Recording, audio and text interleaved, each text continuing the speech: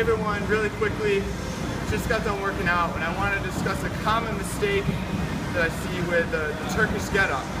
Um, for the sake of time, I'm just gonna get into the spot I wanna I wanna go over and then talk about that. So a big mistake people make when they get in the tripod stance is they tend to teapot it up and kind of crank through their their lumbar spine and lateral flexion.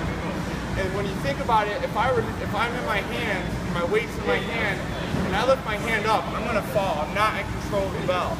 So a better way to get into this half kneeling position is to get in this position and then hinge underneath the bell. Now if I let go of the floor, I'm still in control of the bell here. And then I'm gonna come up.